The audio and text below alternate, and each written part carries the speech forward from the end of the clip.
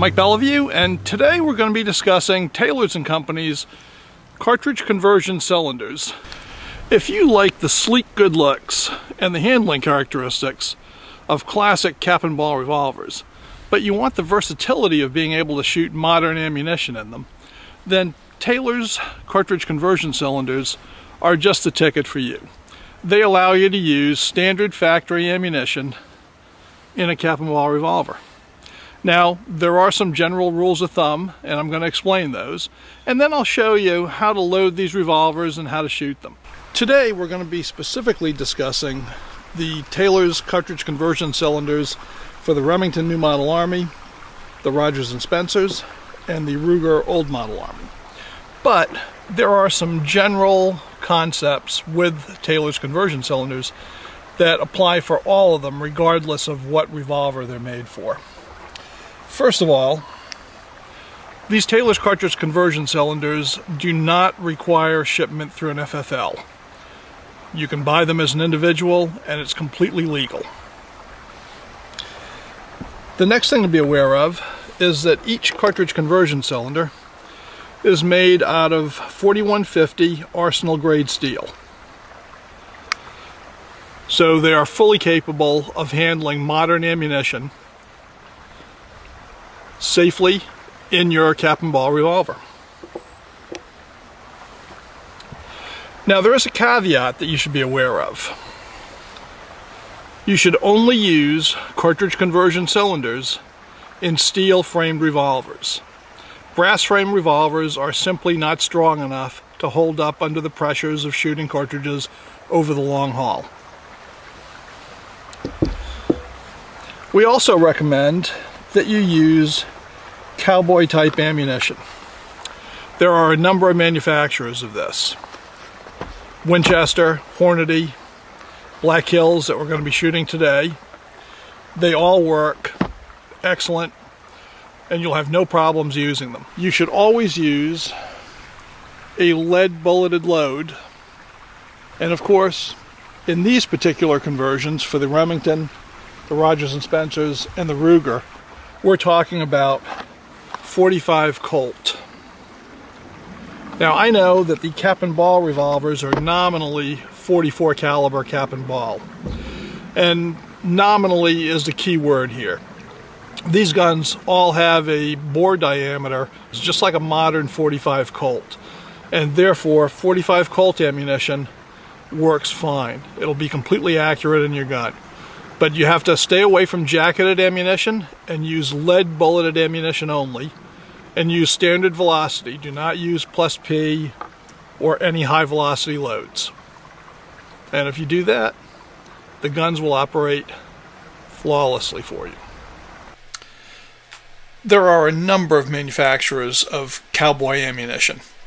Uh, you see here in this picture Magtech, Black Hills Ammunition, Hornady, 10X also makes it. Winchester White Box ammunition is fine.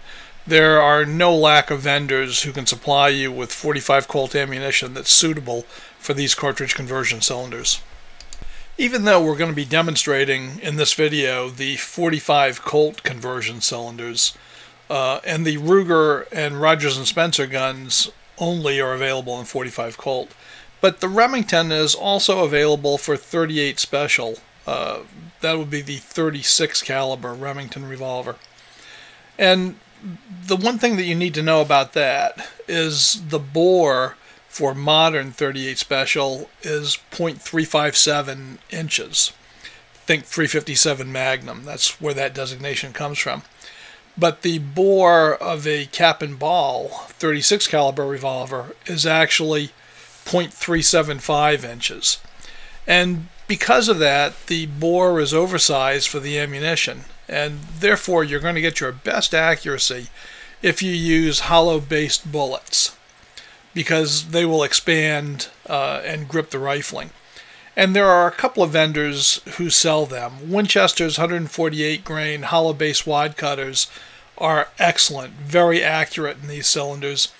And the 10X Ammunition Company makes a 38 long Colt ammunition, their black powder cartridge ammunition, which has a hollow based bullet, and that is also quite accurate. So those are your best bets if you're using the 38 special conversion cylinder.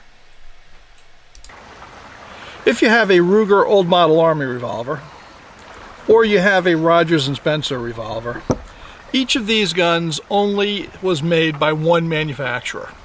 And if you order a Taylor's cartridge conversion cylinder for the Ruger Old Model Army, or for the Rogers & Spencers, that cylinder will fit any Ruger Old Army you have or any Rogers and Spencers you have. But if you're getting a cylinder for a Remington New Model Army, also called the 1858 Remington, this gun has had a number of manufacturers over the years. And currently there are two companies that produce Remington New Model Army revolvers.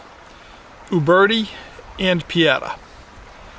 Taylor's make cylinders for both of those companies, but they don't interchange.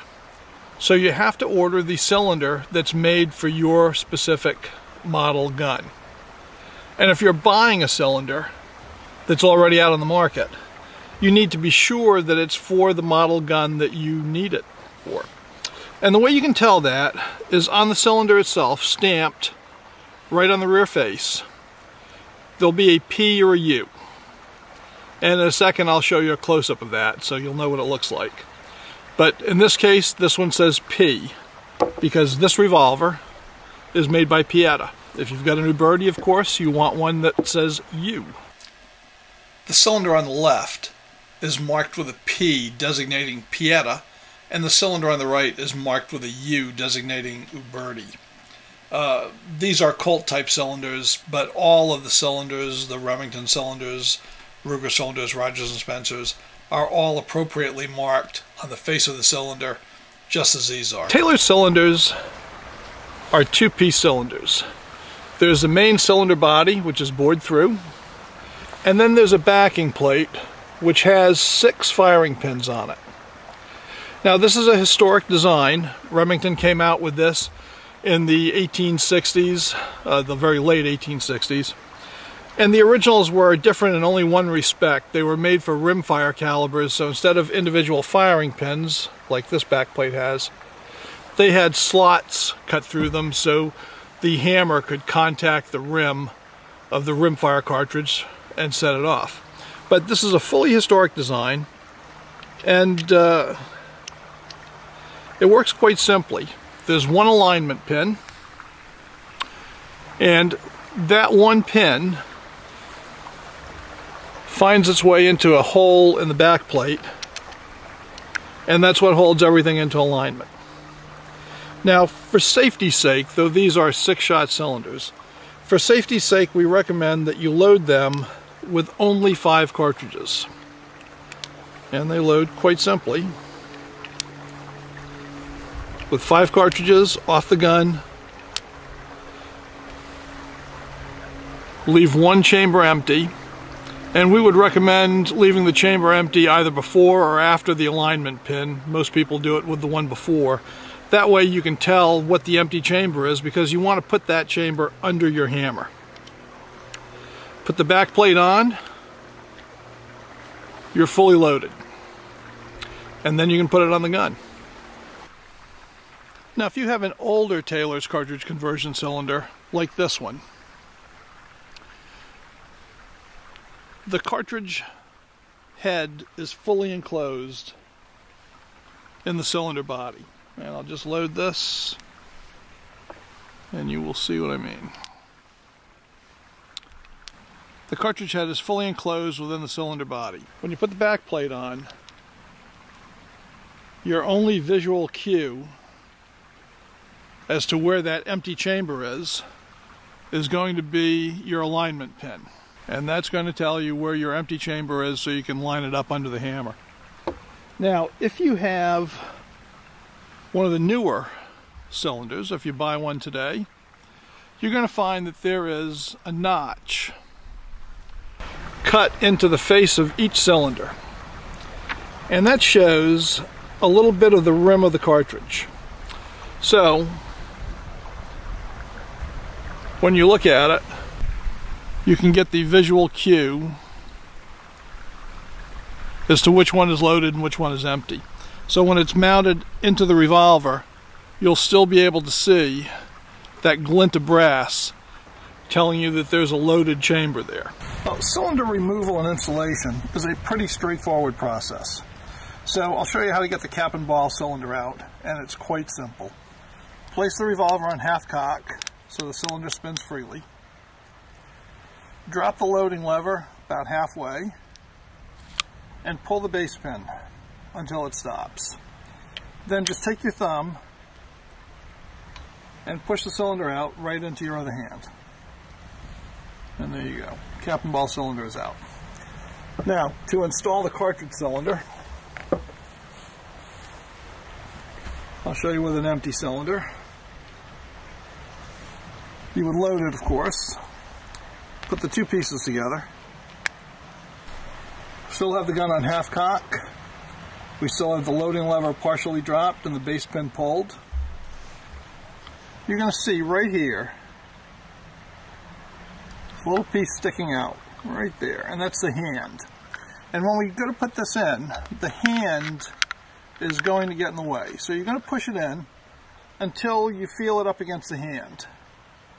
And then all you're going to do is rotate it about a half a turn in a clockwise direction, and that's going to lift the hand up out of the way.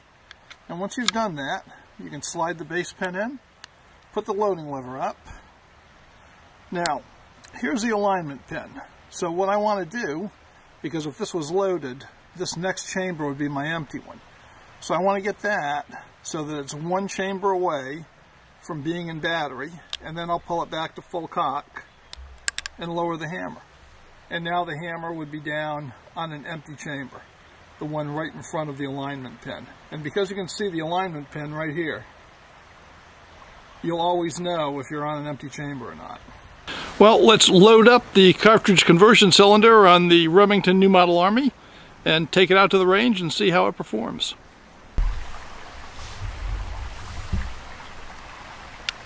Half cock, drop the loading lever, pull the base pin, pop the cylinder out, take off the back plate, and load five cartridges.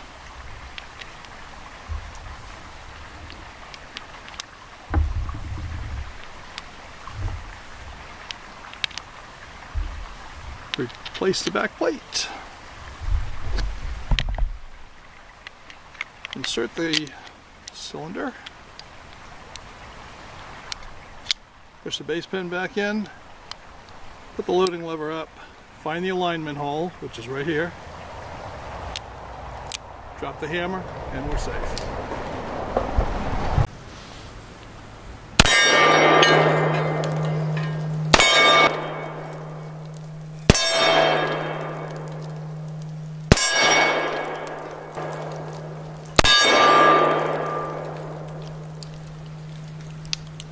The loading process on a Ruger Old Army is very similar.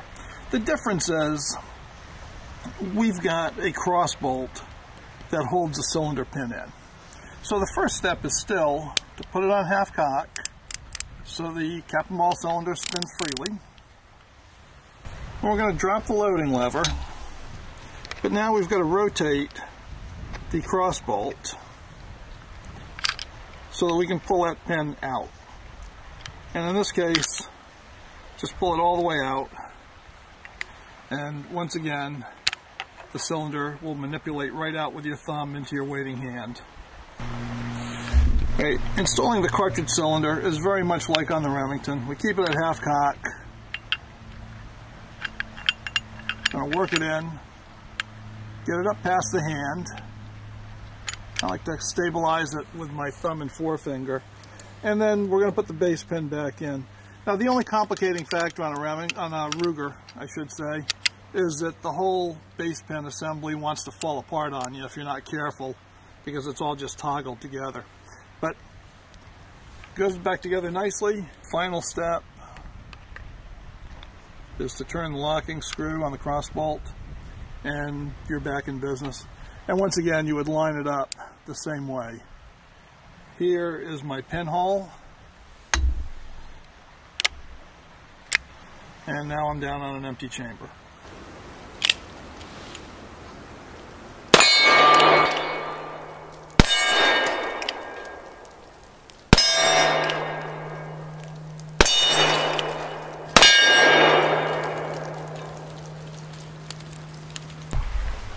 Well, the cylinder removal procedure on a Rogers and Spencer is very much like the Ruger. It has a locking base pin. Turn that screw, put the gun on half cock so that the cylinder spins freely. Drop the loading lever, pull out the base pin. Unlike with a Ruger, this is all screwed together so it won't fall apart. Push the cap and ball cylinder out. Take the cartridge cylinder, insert it into the window, give it a slight twist to push the hand out of the way, reinstall the base pin. You might feel your way around on that. There we go. Lock it back up. Rotate it until you can see the alignment pin. That should be your empty chamber. Cock it, drop the hammer on the empty, and you're ready to go.